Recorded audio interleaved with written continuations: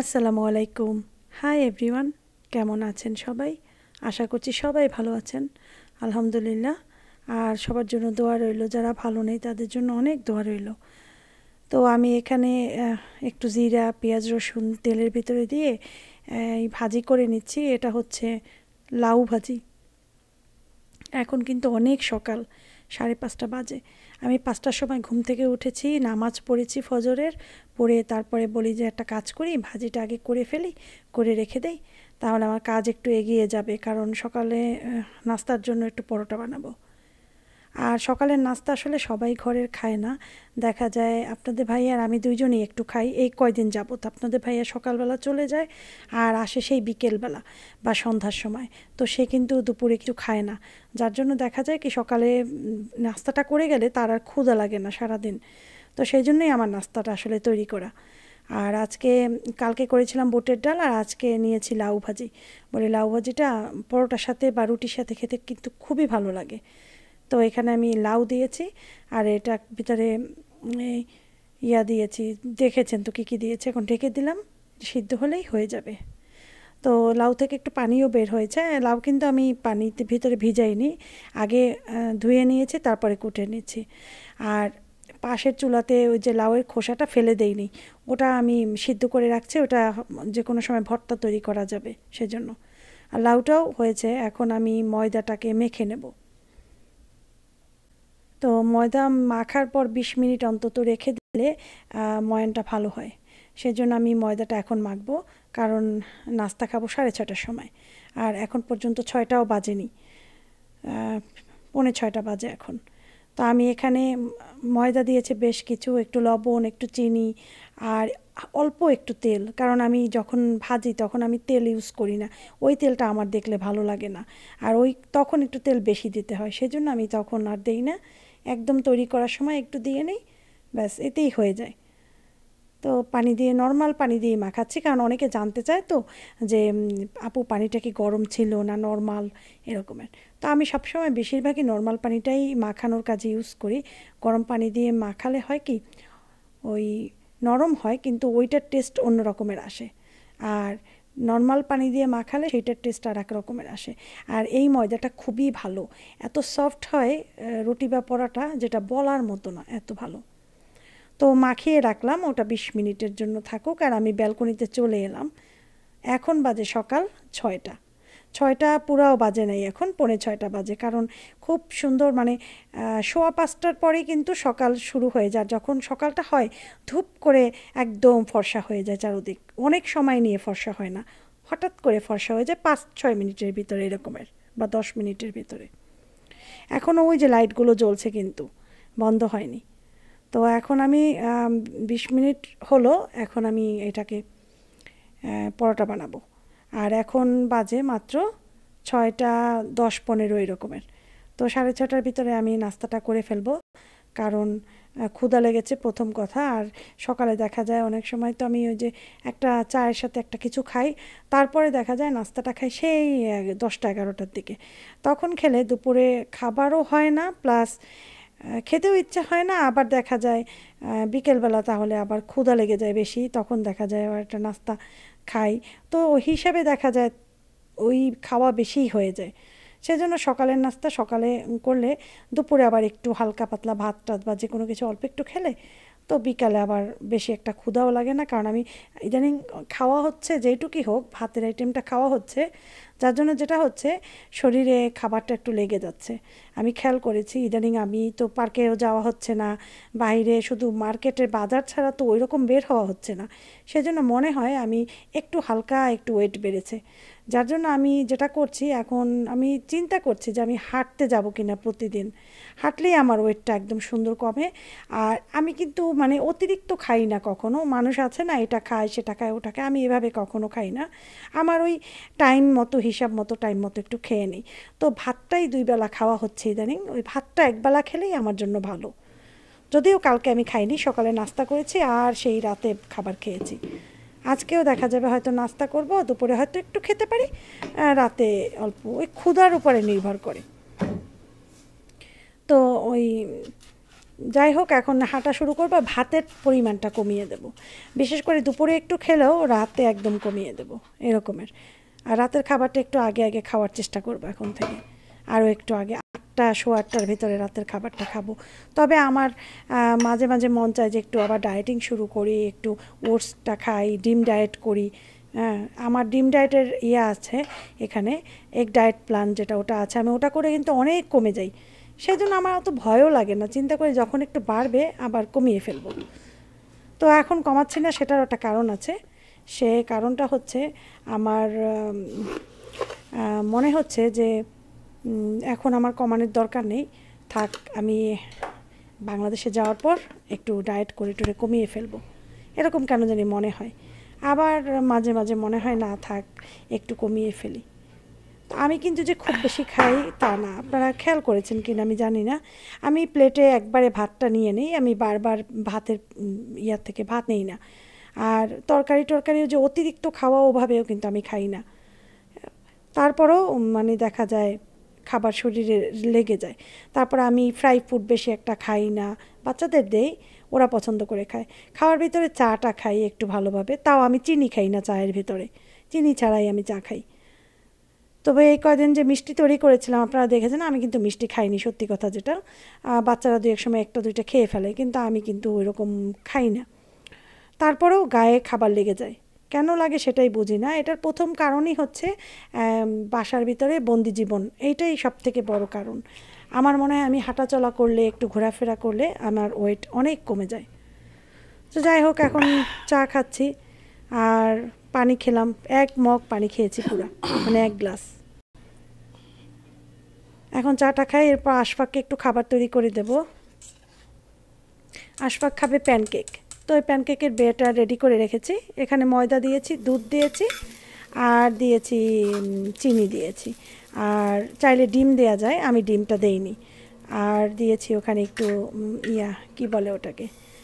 ওই একটু baking powder যেটা, ওটা অল্প একটুখানি পরিমাণের দিয়েছি।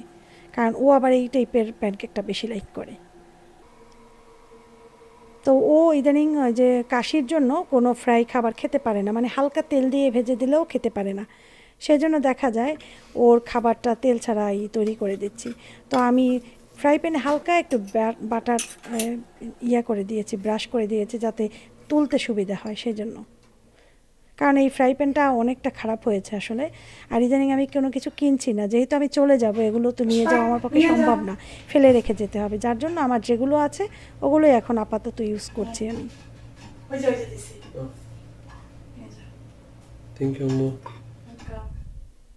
কিন্তু দুপুর একদম মানে ভর দুপুর। দুপুর একটা বাজে। আমি একটু ব্যালকনিতে এসেছি, যে বলি যে দেখি গরম কী রকমের, বেশ গরমই ছিল। তো এখন আমি আবার ভিডিওটা এডিট করছি এখনও শেষ হয়নি। এখনই পাব, একটু পরেই দুইটা আড়াইটার দিকে পাবলিশ করে দেবো। আর রান্না চলছে চুলাতে।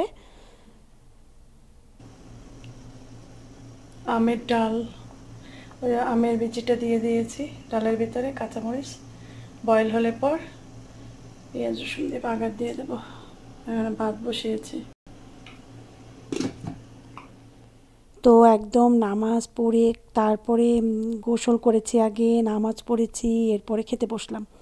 আর আমি একাই খাচ্ছি। আপনাদের ভাইয়া তো বাহিরে, সে আসবে সেই বিকেলবেলা। আর আফিফ সে পরে খাবে বলে আমি এখন খাব না। কারণ ঘুম থেকে ওঠার পর একটু নাস্তা করেছিল, বাস তার খাওয়া একদম ইয়া, সে এখন আর খেতে চায় না, দেখা যাবে একটু দেরিতেই খাবে। এখন বাজে আড়াইটার, আপনাদের ভিডিও তো আমি অলরেডি দিয়ে দিয়েছি। আমি কমেন্ট পেয়েছি কয়েকটা, কিন্তু আমি আসলে অ্যান্সার করতে পারছি না, যেহেতু আমি এখন একটু বিজি সেই জন্য আমি রাতে সবার কমেন্টের অ্যান্সার দিয়ে দেবো। আমি সবার কমেন্ট দেখি, কিন্তু অ্যান্সার দিতে আমার একটু সময় লাগে। তো আম দিয়ে ডালটা অনেক মজা হয়েছিল। আর চিকেন নিয়েছি বাচ্চাদের মতো, বাচ্চাদের চিকেনটাই এরপরে সন্ধ্যার পরে আমি একটু বের হয়েছিলাম ঠিক অল্প সময়ের জন্য। একটু কাজে বের হয়েছিলাম, একটা মানে মার্কেটে একটা দোকানে একটা জিনিসের জন্য গিয়েছিলাম। পরে আমি ওটা পাইনি, পরে আবার ব্যাক করেছি। সামান্য ছোট্ট একটা জিনিস। এই ছোট্ট একটা জিনিসের জন্য আমার যাওয়া লেগেছে। তো আপনাদের ভাইয়াকে বললাম যে, আমাকে অল্প সময়ের জন্য একটু নিয়ে যাও। আমি আধা ঘণ্টা টাইম লাগবে আমার। তো বলল আচ্ছা ঠিক আছে। তারপর একটু গিয়েছি, এরপর পরে আমরা অবশ্য বাসায় ফিরেছি। সময় লাগেনি, আধা ঘণ্টার ভিতরে বাসায় এসে পড়েছি।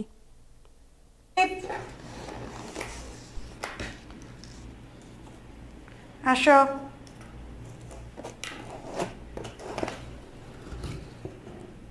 হাফিফ আসো, খাবে না? গরম গরম পিৎজা খাও আর জুস খাও, স্ট্রবেরি জুস। জুস কি? Milkshake strawberry milk shake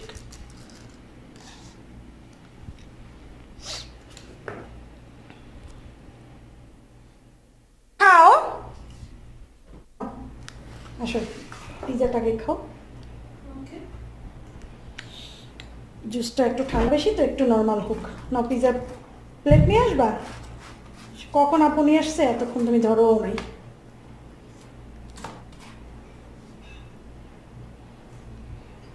plate দাও মা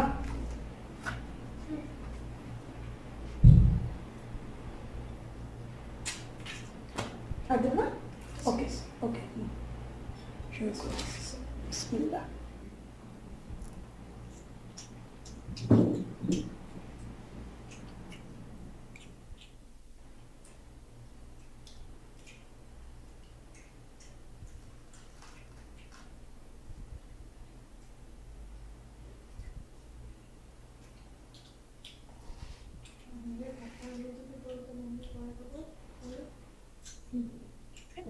ঠান্ডা হয়ে গেছে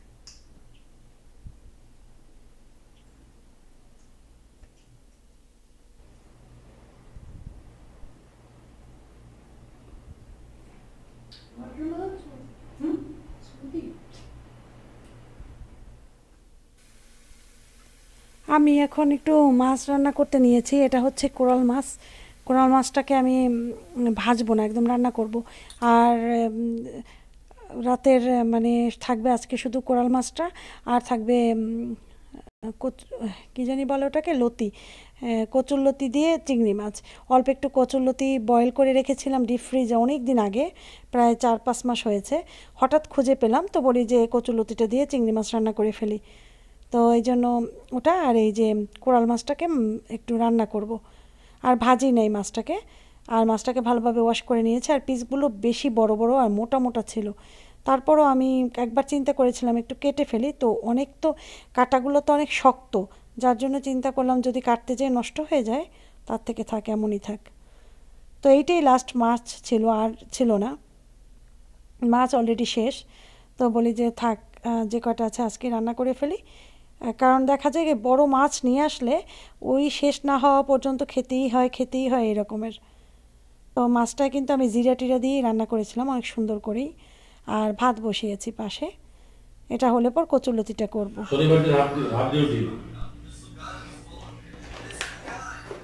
আফিফ? খাবার টাবার নাই টাকা দেবে? মোবাইল ইউজ করো না যাও। সব? ইয়া করছিলা আজকে? ভিডিও করে পাঠাইতেছি হোয়াটসঅ্যাপে আর আর ওই মেসেজ ওই আর ওই আর এই যে ইয়া করলাম ধনিয়া পাতা দিলাম। আপনাদের ভাইয়া আবার এখন বের হয়েছে আবার। বের হয়েছে, সে আস্তে আসতে এখন বারোটা, সাড়ে বারোটা বেজে যাবে রাত্র। আর এই ফাঁকে আমি রান্নাটাও কমপ্লিট করলাম, এরপর নামাজ পড়তে হবে। কচুলতি বসিয়ে দিয়ে নামাজে চলে যাব। তো এটা হওয়ার পরে কচুলতিটা বসাবো। ওদিকে ভাতেও খেয়াল রাখছি, কারণ ভাত আবার বেশি না হয়ে যায়। পরে যদিও কচুলতি রান্না করার পরই নামাজে গিয়েছিলাম, কারণ দেখা যাবে যে পুড়ে যেতে পারে। যেহেতু কচুলতিটা তো মানে হতে সময় লাগবে না বেশি, যেহেতু সিদ্ধ করা। এই জন্য আর ভাতও হয়ে যাবে, তাই আমি চিন্তা করলাম, থাক কাজগুলো আগে কমপ্লিট করে নিই। আমি এখানে রসুন, পেঁয়াজ দিয়েছি, একটা জিনিস ভুল হয়েছে। আমরা বরিশালের মানুষরা কচুলতিতে সবসময় নারকেল বাটা বা এই নারকেলের বাটা এই টাইপের দেবো। আর এখানে যারা নারকেল যখন না পেয়েছি, তখন নারকেলের পাউডার কিনতে পাওয়া যায়, ওটা দিতাম। এখন যেটা হয়েছে, আজকে আমি ভুলেই গিয়েছি যে আমার ইয়া দিতে হবে। নারকেল দিতে হবে। আমার বাসায় নারকেল ছিল, কিন্তু আমার মনে ছিল না। তা আমি বলি কি, কী জানি একটা মিসিং কি জানি একটা মিসিং এভাবে চিন্তা করছি, এমন লাগে কেন? হ্যাঁ মানে অন্য রকম দেখাচ্ছিল, যেটা আমরা যেহেতু অভ্যস্ত নারকেল বাটা দেয়া খেতে, আর যেহেতু পেঁয়াজ, রসুন আমরা বাটাটা ইউজ করি এটার ভিতরে, আজকে কাটা দিয়েছি, সেজন্য কেমন জানি মশলাটা গায়ে লাগে না, কীরকম জানি একটু। পরে আমার খেয়াল হয়েছে যে আল্লাহ, আমি তো একদম আটা রসুন, আদা রসুন, এই সরি পেঁয়াজ রসুন বাটা দেইনি, তারপরে আবার নারকেল বাটা দেইনি, সেজন্যই তো এমন হয়েছে। এই যে, এই সিদ্ধ করে রেখেছিলাম। অল্প একটুই ছিল। তো বলি যে থাক, আমার আর আপনাদের ভাইয়ের দুজনের হয়ে থাকবেও। কারণ দেখা যায় দুইটা আইটেম হলে অতিরিক্ত খাওয়া যায় না আবার। তো এইটুকু অবশ্য হয়ে যাবে, আমাদের দুজনের সুন্দরভাবে হবে। এই, আর ওই জন্য একটু দেখতে কেমন হয়েছিল আমার নিজের কাছে। পরে খেতে টেস্ট হয়েছে, তবে এটার ভিতর নারকেল বাটা দিলে আরও বেশি টেস্ট হতো। তো অল্প একটুই পানি দিয়েছি, এখন ঢেকে দিলাম। এইটা দিয়ে, কারণ এটার কভার ছিল না। এই যে কমপ্লিটও হয়েছে আমার রান্না। এরপর যদিও নামাজ পড়ে নিয়েছি, নামাজ পড়ে তারপর আমি খেতে বসেছি। আর এখন কিন্তু বাজে অনেক, দশটা বাজে, আজকের খাবারটা দশটায় খেলাম। যেহেতু আমি একটু পিজাও খেয়েছিলাম এক পিস ক্ষুদা ছিল না তেমন। তারপরে দশটার দিকে খাবারটা খেয়েছি। আর আপনাদের ভাইয়া বাসা এখনও আসেনি। আর আফিফ তো পিজা খেয়েই পেট ভরে ফেলেছে, এখন আর খাবে না রাতে সে। তা যদি রাতে ক্ষুদা লাগে, হয়তো চিকেন দিয়ে একটু ভাত মাখিয়ে খাওয়াইয়ে দেবো আমি।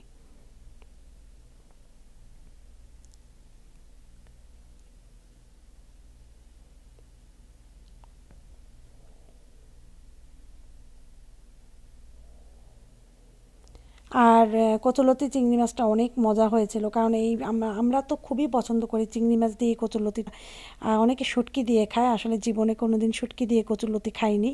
সারা জীবন খেয়েছে চিংড়ি মাছ দিয়ে, ইলিশ মাছ দিয়ে কচুলতি চিংড়ি মাছ দিয়ে কচুলতি এই দুইটা দিয়েই সারা জীবন খেয়েছি কচুলতি আর কোনো কিছু দিয়ে কখনো কচুলতি খাওয়া হয়নি, ট্রাই করা হয়নি। তো ভালো, খুব ভালো লেগেছে। এরপরে আমি, খাওয়া দাওয়া করে এরপরে তো আমার দেখা যায় ঘরে আর তেমন কোনো কাজ থাকে না। এই যে এই দু একটা প্লেট প্লেট জমে এগুলো ওয়াশ করে ফেলি। তারপরে বসে বসে আমি আপনাদের কমেন্টের অ্যান্সার দিই। তারপরে ঘুমাতে যাই। তো ঘুমোতে প্রতিদিনই যেতে যেতে দেখা যায় বারোটা বেজে যায়, এগারোটা, বারোটা। তারপর আবার সেই পাঁচটার সময় উঠতে হয় নামাজের জন্য। আর ঘুমোতে পারি না। সেই জন্য বিকেলবেলা অল্প একটু ঘুমিয়ে নিই। তো যাই হোক, খাবার খেতে খেতে আপনাদের কাছ থেকে বিদায় নিয়ে নিই। আপনারা সবাই ভালো থাকেন, সুস্থ থাকেন, সুন্দর থাকেন, এই প্রত্যাশা করি সব সময় যারা অসুস্থ, তাদের জন্য অনেক দোয়া করি, অনেক দোয়া রইল। আজকের মতো বিদায় নিচ্ছি। মা আসসালামা।